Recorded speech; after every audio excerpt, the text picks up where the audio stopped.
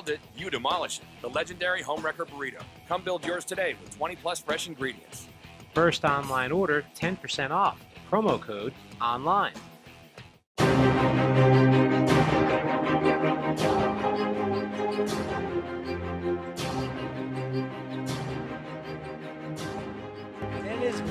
Night. Welcome here to this episode of Over the Boards here at Moe's Cameron Village Raleigh. Zach Salaya alongside the man of the half hour, co- head coach Mike Gazzillo of the NC State men's hockey team. Now, this episode is sponsored by Moe's Cameron Village, where you can call at 919-999-3999 or at 919.catering.moes.com. That's a lot of nines, coach. All right, so let's get this started here. Coach, how was your Thanksgiving break? Oh, very good. Thank you. How about yours? It was a lot of sleep. A lot of sleep, a lot of turkey prior to the sleep. Let that tryptophan kick in. Yeah. Maybe, pretty much so. What was on your menu, coach? Uh, you know, turkey, potatoes, corn. So the uh, usual. cheesecake, uh, apple pie. You know, yeah, So you seem to be in pretty good spirits today, coach. yeah. Yeah, so is the team as well. And you know, going into this um, second semester here, the team seems to be really doing well because they clinch a, essentially clinch a spot in the ACCHL tournament. So talk to us a little bit about the state of the team. How does the team feel after this tremendous eight and four semester? Yeah, I mean, I think the guys are coming together quite well. Um, there's a lot of enthusiasm in the locker room. Guys all get along. Uh, I think the uh, upperclassmen are doing a good job with the uh, with the new guys coming in. You know, kind of bringing them along. And uh, I think it was a you know, maybe a little tough earlier on, but you know, we're we're kind of making some good adjustments, and the, the guys are reacting to it well. And um, yeah, I mean, losing, I mean, uh, winning never never hurts, right? So uh, spirits are good, atmosphere is good. Very happy. And talking about adjustments as well, coach, a recurring factor for your team has been that discipline factor. There hasn't been a lot of physicality penalties, but it's been more of bad stick placement. Now, is that a matter of your team trying to figure out where they want to put their stick, or is it just bad luck? Uh, you know, I think they know what to do, you know, and, and how to play it. I think uh, sometimes you get some refs that call it one way, and then the next week, uh, whatever you did was that wasn't allowed is allowed, and so it confuses them, you know, when there's not a lot of consistency in the officiating. Um, so I think that's that's a little bit of the problem. Um, but I I mean, the guys are playing physical, but they're keeping it clean, which is exactly what I ask of them. You know, that's exactly what we want. We wanted, uh, you know, you could play hard, you could play physical, you just got to be clean. Um, the rest of the stuff, you know, it'll kind of sort itself out. But for the most part, your team has talked about this discipline issue before. I mean, yeah, it's, it's something that we always talk about. You know, before the game, we talk about some of the, the, the keys to winning and what we need to do. And, you know, it's always part of it is always stay out of the box. So, um, and then you get a penalty, you go to the box, you know, you're not going to be able to debate it with the ref. And uh, so I think, you know, that, that sometimes leads to a second bad penalty or something like that and trying to cut down on the retaliation stuff. So, um, you know, again, a lot of new guys on the team, and so there's a little adjustment factor on their end of it too. And uh, I think they're doing a good job with it. Now, coach, a very important thing as well is while your team is in the box, a very important factor on the ice is your special teams ability. Now, I don't want to take anything out of the NC State ice hockey playbook here, but when you and your coaches look and analyze certain plays about power plays and penalty kills, what do you guys tend to look at, and how do you guys tend to set up your team related to the game? Um, basically, on the on the power play or a penalty kill, everyone has an assignment, and uh, you know when you when you get to watch the video, or just you know in conversation amongst the coaches, because we don't always have video. Uh, it, it are the guys are the guys going where they need to go. Um, if F1 is there, is F2, you know, where he needs to be? You know, if not, you know, what is are we covering for it? You know, are we recovering? Um, so, you know, it's it's kind of like a little bit of a chess game sometimes. So you want the guys to be in the right places for, uh, you know, what what's going to happen, or also be able to, you know, react to things that you, you can't script everything out, right? So uh, we give them a little bit of something to go with, and um, we let them run with the rest. Now, as well, coach, on the power play at least, one of the most important things is getting that first shot off within the first several seconds. Now, I- I've noticed this a lot when I'm commentating on Pack TV as well. What do you tell your guys in the locker room about these power plays and how important it is to get that quick shot really fast, right off the draw? You know, I always tell them it's power play, not keep away, right? So you know, go in, gain possession, uh, gain the zone, and then let's uh, let's try to find a, you know our open guy, and uh, let's just get the puck to the net and see what happens from there. And you would agree as well that getting that first shot is just so important, and a play can really happen within the first 10 seconds of any power play, like at the defining moment for the next two minutes. Yeah, absolutely. Uh, you know, and, and, then okay, so you know, after the shot's taken, well, what's everyone going to do? Right. You know, you can't stand and admire it and see if it goes in, right? Some, you know, someone's got to be there in case it goes wide or high, or you know, if there's a rebound. So uh, you know, everyone's got got a responsibility, and um, you know, as long as as long as you know they can they can react to everything, we'll be okay. So, coach, another big factor in your team as well is your performance on the road. Now, sadly, we don't have any footage from those games because we did those on radio broadcasts, but your team has entered some very tantalizing crowd environments, but they have sufficed well, especially in your 6 to 1 blowout over Wake Forest University. How do the guys react and how are they able to stay sane and really focus on their game during those really tough crowd environments like the UVA game as well where they did lose 5 to 3? I mean, you, you can't you can't let that factor into you know any decisions you make.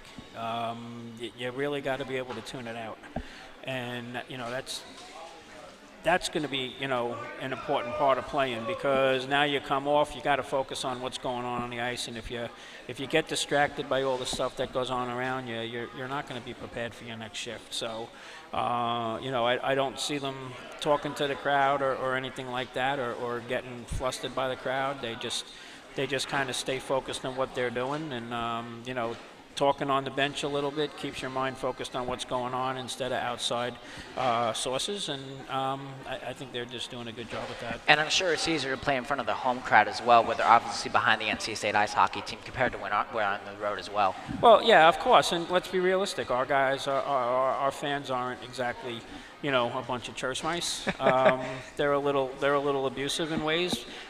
Nothing bad, but you know, then we go someplace and and we get abused, and so you know you roll with it, right? So I mean they they're used to noise and stuff like that because we get pretty good crowds. So I think they just done a, a, good job of tuning it out.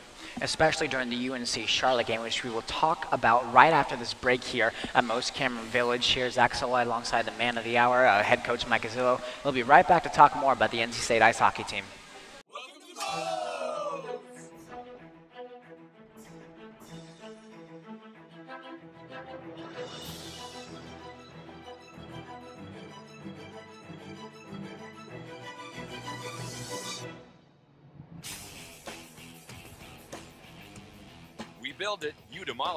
Legendary Home Homewrecker Burrito. Come build yours today with 20 plus fresh ingredients. First online order, 10% off. Promo code ONLINE. This university is on a march to achieve our full potential. We help empower each other to dream big and do big.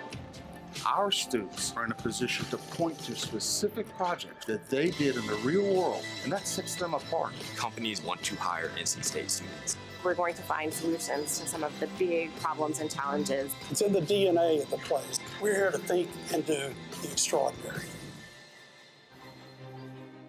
Thank you for coming back with us here at Moe's Cameron Village Raleigh. Zach Salai alongside the man of the half hour, head coach Mike Gazzillo. This is sponsored by Moe's Cameron Village here at 919-999-3999. A lot of nines, of course. And you can also find it at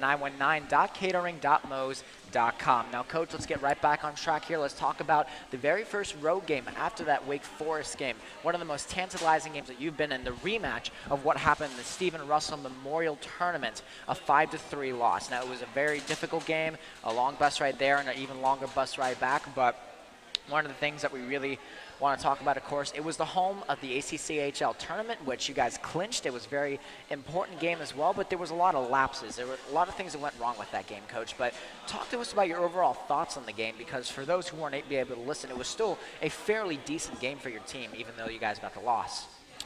Um, I think it was a better performance against UVA um, than, than our, our game at the Russell tournament. Uh, I don't think the bus ride really factored into it at all. Um, the guy, we got there early enough, and we had a chance to go out and uh, walk around. It was a really nice day, and uh, everybody had a chance to go get something to eat and got a good run in and stuff like that. So I don't think the bus ride really was a factor. Um, you know, it, UVA seems to have our number at this particular point, but that's okay because we'll get it back. Um, but you know, listen, we're not going to win every game, you know, and we were certainly in it.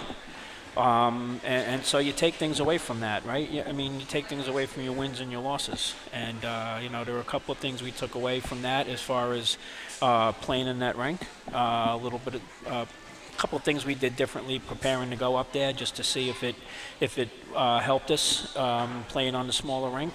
And again, that's something we could take back because we're, we're going to play there at the end of the season tournament. So uh, it was a, something to work on um, in the week leading up to that. Um, but uh, you know, other than that, I mean, like I said, the guys played well. You know, our defensive zone lapses, you know, hurt a little bit. Um, nobody's perfect. We got to clean it up, and we're working on it. And a fun fact as well: the UVA ice sheet is actually smaller than it is here in Raleigh. How does that come into play, coach? Because obviously your team is much more accustomed to playing on the big ice, making those plays at the right moments, but the UVA ice is a bit smaller. Yeah, they got a really small neutral zone. Um, so again, uh, you know, to get guys ready for it, we had to we had to adapt a couple of things we do in practice um, that I'm not going to broadcast. But uh, you know, it, it it helps with some decision making going a little quicker and stuff like that. So uh, I think it helped. Like I said, I think we had a better game against them than we did at the Russell tournament, and uh, yeah, I'll always look forward to look playing, playing them again. Especially a smaller neutral zone could affect how the team sets up on the forecheck and the back check, and how they're able to trap the other team, try to steal that puck as well. But definitely a lot of those plays in the neutral zone led to some interesting penalties as well. Towards the end, Luis Jimenez or one of the players took a shot against. I believe it was on the UVA goaltender. The puck came back, and Chris Hudson, Davis Hudson rather, got hit in the back of the head, and there was a huge scuffle at the end of the game, Coach. Now, me and Ethan were there covering the game for WKNC Radio. We couldn't see much of what was going on down there. Did you get any insight to what was going on?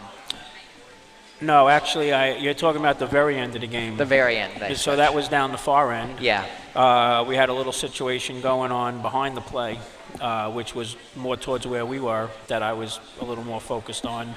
Um, so no, I, honestly, I did not see uh, what went on back there. It was yeah, it was an unfortunate sequence of events because up to the most part, your, your team was very disciplined up until that point. I don't recall many penalties being taken by the team as well, so that's definitely a promising sign. Yeah, actually, um, I, if if I recall, we, we didn't have a lot of penalties. I don't think there were a lot of penalties in the game, you know, per se.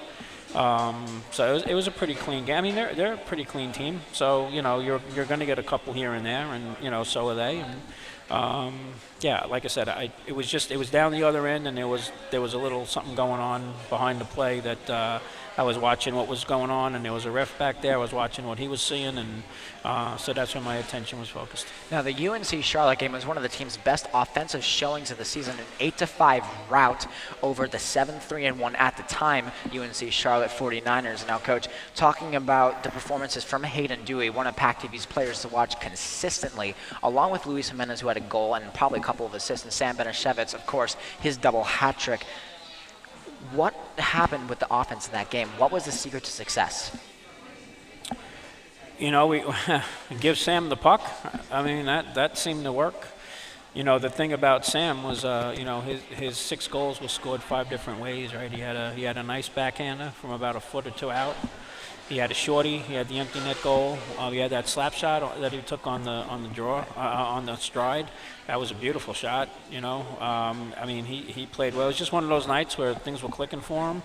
Um, Hayden's been playing very well. You know, Luis, you know, Sam set him up uh, with a nice shot in the slot. So, um, you know, you gotta, you gotta, you gotta get pucks to the net, right? If you want to be successful, you, you can't. I always tell them if you played a team of mites and you didn't shoot, the best you could do is tie, right? So you got to get pucks to the net, and uh, that's what that's what we were doing. Talking about getting pucks to the net as well. You guys were up four to two heading into that third period, but there were several bad bounces and defensive lapses that made pulling off the win, you know, very difficult. It was a great game nonetheless, coach. But what happened defensively in that game that prevented Josh Cannon from making the saves that he needed to make in that game? I think Josh played a great game. Um, I, there were a couple of bad bounces, and you really can't fault him. You know, um, I'm sure he'd like to have you know maybe two of those back. Um, but bad bounces are. I mean, we've scored goals off of bad bounces, and it, it's it's going to happen. Um, but you just you have to put it aside because there's nothing you can do about it. You know. Uh, again, defensive zone. You know, talking about where guys should be, and um, you know maybe a little bit better in coverage. Um, but again, these are it's easy to get those learning points in when you win because it's just easier to go back and look at it, you know, especially with some of the guys. Um, but yeah, no, I thought I thought Josh played well, and um, you know, defensive zone coverage is something that we've been working on and we will continue to work on. So, uh, you know, just a, another game, another lesson learned.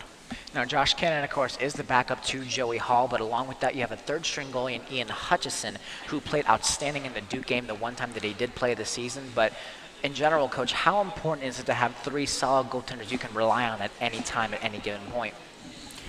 Yeah, it makes it easier to sleep at night. That's for sure. Um, you know, jo- Joey's playing well, Josh is playing well, and uh, you know, and knowing at any point that I can throw Ian in. Um, you know, he did well in the skills competition. Uh, we did a little three-on-three with uh, UNC uh, the day before the PNC game, uh, and Ian was in net for that. Uh, we beat them one nothing. Andrew Kristoff scored. So you know, it's just a quick little three-on-three. So it's it's not really a lot, but you know, Ian played well and you know, I, I would be confident if I had to put him in um, that he can get the job done. Now, talking more about the heroics of Andrew Kristoff, who had that 1 nothing goal in the 1 0 rout, of course, of UNC Chapel Hill during that intermission game, the Wilmington game. It was an outstanding game. It was a little bit of a late game as well. Went past 12:30 at night, but it was an outstanding one as well. Four to four heading into overtime. Nothing happened there. Went to the shootout, and who was the hero? Andrew Kristoff. So talk about the two-goal comeback you guys had, and as well, uh, finally a hardworking shootout girl for a hardworking guy, Andrew Kristoff. Yeah, you know, it's just uh, as far as coming back, you just got to be persistent. You know, you just got to stay the course. You just got to get pucks to the net and get bodies there. You know, uh, law of averages. Eventually, they go in, right? And so, you know, we were able to tie it up, and that was good. Um, and then, you know, we uh, we went with uh, with with a couple of guys on the shootout, and I thought back to last year when I had uh, a shootout. We were playing up in Liberty, and uh, Andrew Kristoff won the game for us against Louisville. So I looked at him and I said, "You're up," and he went and he put it in, and uh, I was very happy for him. He was. Uh, I think he deserves it. You know, he works really hard. Definitely the hardest working guy on the team. Um, definitely sets a good message to the other guys. And um, if I need an energy guy, I mean, he's my guy. He's always out killing penalties. You know, he forechecks hard. So um, it was good to see him put that one home yeah, Andrew Kristoff definitely is one of the better players on this team for effort-wise, and he's definitely one of the guys that really sparks the offense and sparks a lot of good things about this team. Now, we can't go this episode without talking about the backyard brawl that happened at the PNC Arena on November 20th. That was an outstanding game, Coach, both for the awareness of NC State hockey, UNC hockey, and of course, just raising more awareness for collegiate hockey here in North Carolina. Now, Coach, what were your overall thoughts in the game? Because there were significant contributions from depth players, like the first star of the game, Eric Webb, who had a breakaway goal as well from Ryan, Ryan Lensmeyer, the tantalizing physical and defensive effort from Ellis Rushford. Just what can you say about the depth of this team and how well they performed at the backyard brawl? Well, I, I, mean, as far as the defense goes, Ellis is a good physical player, you know, and um, he definitely brings that element to the game. Um, you know, he got uh, he got an assist on uh, Webby's first goal. Uh, just again, getting it to the net, right? That's his job. Get it to the net, and uh, Eric was in a good spot. Tipped it, uh, beautiful tip. Um, you know, you can't always rely on Sam and Luis to do all our scoring. You know, if we're going to win games, it's got to come from some of the other guys. You know, Hayden Dewey had a nice goal. Um, I mean, I've been kind of talking to Webby more about shoot, shoot, shoot trying to throw a pass across and it goes off, uh, you know, one of the UNC kids, uh, you know, it doesn't really matter how it went in. It just matters that it went in. And um, so, it, you know, you could see the excitement in his face. You know, uh, it's been a while since he scored, so um, I was I was very happy for him. So yeah, I mean you gotta you gotta be able to rely on everybody else to play, not just your top line. And adding on to that as well, the dynamic duo of Sam and Luis only um, total up to about three points that night. Luis had a goal and an assist. Sam had an assist. So it definitely was promising to show that the depth could step up and really step into the role of that top line where Sam and Luis, of course, they want to be the leaders for this team, but they can't be the entire team as well. It's a full team effort, coach, and that's one of the things that you you got to be happy about, especially with your coaching staff. Yeah, absolutely. You know, we uh, we, we tend to rely on uh, you know Sam, Luis, and Eric, um, but you know the, the other guys got to pull through too. So, and, and I think a few guys are kind of overdue, you know, and it so getting that contribution, it kind of also tells the team that hey, you know, we're we're all in this together. You know, it's not just you know two or three man show. And you got to be pleased as well. Will Bieberdorf is back in the lineup after a long absence at the start of this season. Now, Coach, what can you say about Will Bieberdorf and his impact to this team both last year, this year, and every year that he's been here? Yeah, I mean, Will, Will's a great kid, and, and he, he works really hard. You know, uh, he puts in time, you know, off ice. Um, you know, he's always looking to improve his game. Um, he, he'll, he works with anybody, you know, you know, with Ryan or, or Tyler or Trevor. You know, it doesn't really matter to him who. Um, you know, he had a couple of good shots. Uh, that's a guy I'd like to see bury one. Um, not from lack of trying, but you know, uh, it, will go in. Uh, he's got a good attitude, and uh, yeah, it, it's great having him back. It's good seeing him healthy enough to play. Now, Coach, now we need to talk about, of course, the power punch of defense as well. Your freshman defensemen, Ellis Rushford and Cam Masakowski. Their development since the beginning of the season has been one of the most incredible things that I've seen out of collegiate hockey, and that's a big thing to say, of course, but they have been consistently the best defenseman on this team. Ellis Rushford being the good, silky, strong physical defenseman, and Cam Mazikowski adding that really that punch on the offense. Had a hat trick in the Wake Forest game. Has just about seven goals right now, according to the ACHA website. So, Coach, talking about Ellis Rushford's beautiful skating ability, Cam Mazikowski's towering presence and offensive ability, how potent is this offense going to be in the next several years for NC State hockey? Offense or, or, or, defense offensively? Just their play in general. How Just much? their play. Okay, so um, yeah, I mean, you're, you're only gonna they're only gonna get better, right? It's the first year in the league, and you know you're playing different teams and you're going to different rinks and kind of seeing how things go a little bit. And uh, I, I, think they, they, yeah, they clearly they've come along well. Uh, Ian O'Rourke getting him back from uh, his broken finger has been. Uh, he had a, a really couple of beautiful plays in the in the game. He broke up that one two on one. Um, you know, we had that wraparound, which is a great, you know, thing to do. Um, question about whether or not it went in, um, but you know, whatever. It, it, you know, it didn't get counted, but the presence of mind to be able to do that was good. Um, Davis is just playing so strong. You know, he's just so solid defensively. Uh, you know, then we got uh, Copley, Coca, Copelandberg and, and Chris Wing you know, their play is solid, you know, especially when they're stepping up and challenging. So, um, yeah, it makes for a uh, makes for a good group, makes for a good cohesive group. And definitely one thing that I've seen with your uh, defensive um, core coming from the beginning of the season is their positioning and their ability to bounce back after tough games as well. So we actually just saw a little bit of a clip right there from yeah. Ellis Rushford. As you can see right there, beautiful chip of the puck outside. His hockey sense has got to be one of the best on this team. Yeah, there's no doubt. I mean, he's he knows what to do and, and where to do it, and um, you know, it's getting got, getting the forwards back to to complement them. You know, is again, you, you know, you got a lot of new guys, and you know, they're getting to know one another, and uh, I think it's gotten better, and it just makes us a little bit more effective getting the puck out of the zone and getting the rush going the other way. Now, coach, before we wrap up with some Twitter questions, we have to talk about this. Um, upcoming January schedule. Your first game of the season is against a team that this will be your first time, if not one of your only other times. It's a very rare matchup between you and Delaware. Now, it's going to be a bit of a tantalizing matchup, of course, as your team has to take on um, Stephen Bryson, uh, Ryan Morrison, goaltending from Eric Bernberg, who are the stars of Delaware hockey as well. So, how will your team be able to bounce back from a very long Christmas break, shake off all the holiday goodies, and get back right into the swing of things? I mean, that's certainly something that we talked about, you know, before we uh, broke for the season. You know, we uh, we got a tough game coming back. We used to go home and home with Delaware, then it kind of subsided a little bit. So it's good to have them coming back down here, and we'll probably go back there next year.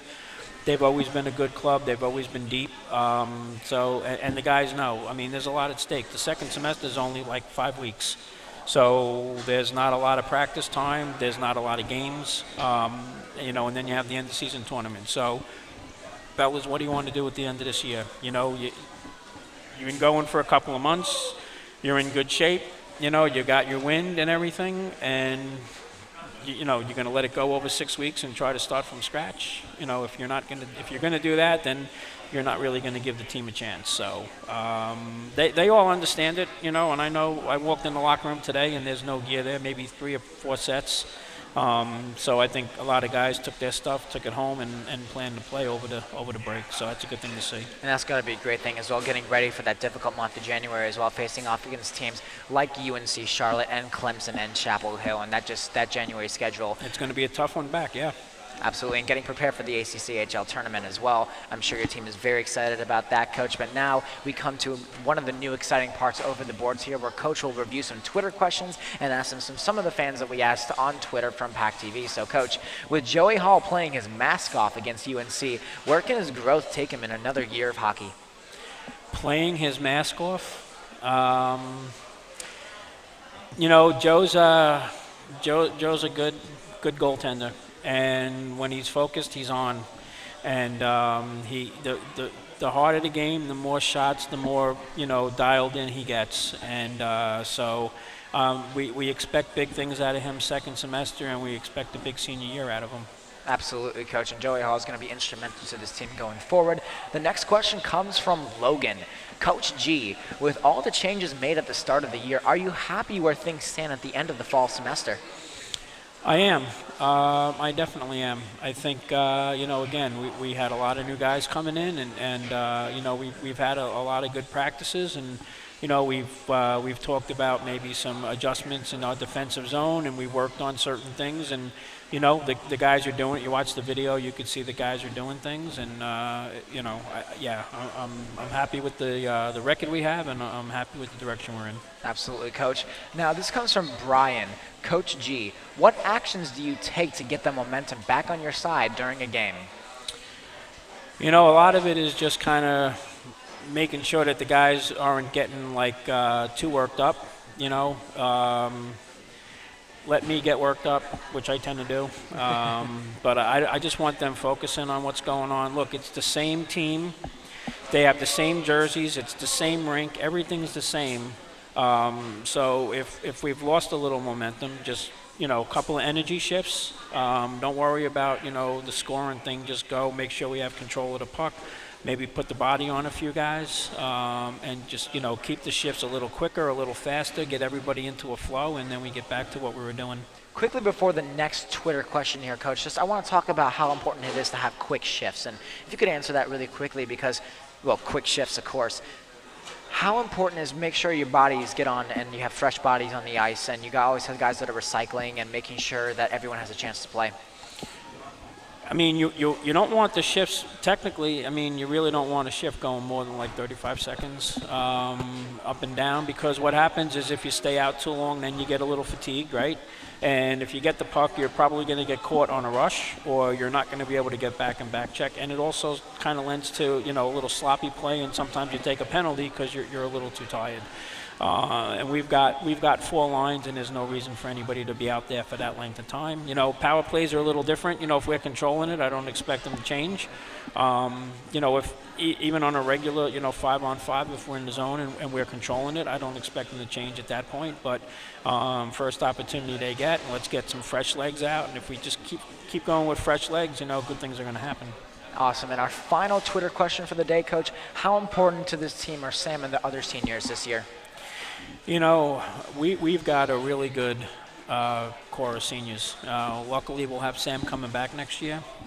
Um, but I know that a couple of years back, we talked to, to guys that are now seniors and, and said, you know, there's going to be a legacy when you leave. Um, and what do you want that to be? Uh, and, and, so we want the guys um, bringing the new guys along and uh, you know and buying into the system and you know making some cohesiveness in the locker room and on the ice. And you know if we have any issues you know get them addressed get them addressed quick. Um, and I think they've done a tremendous job of that. And um, I, seniors are going to be missed but I think that they've left a good legacy. And I think the guys that are coming up behind them are going to follow suit. And I think they're just going to make the team better each year. All right, Coach, it's been an honor and a pleasure to talk with you tonight in this episode of Over the Boards here at Moe's Cameron Village, Raleigh. Now, I hope, Coach, that your uh, Christmas vacation is filled with a bunch of gifts from Santa Claus and no lumps of coal.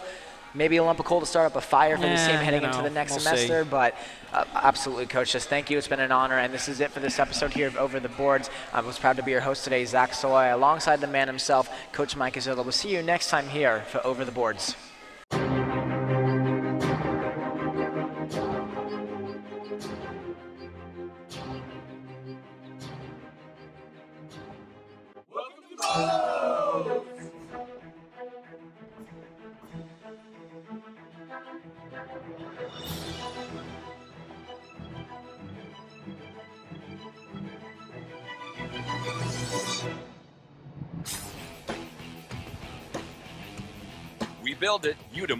The legendary home Homewrecker Burrito. Come build yours today with 20 plus fresh ingredients.